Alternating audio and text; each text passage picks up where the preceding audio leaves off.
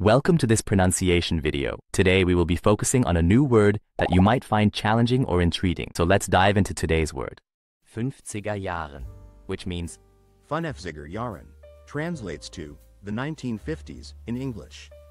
Let's say it all together. 50er Jahren. 50er Jahren. 50er Jahren. One more time. 50er Jahren. 50er Jahren. 50er Jahren. Thank you for joining us on this adventure in pronunciation. Remember, language is a journey, not a destination. Keep exploring, experimenting, and expanding your linguistic horizons. We'll see you next time.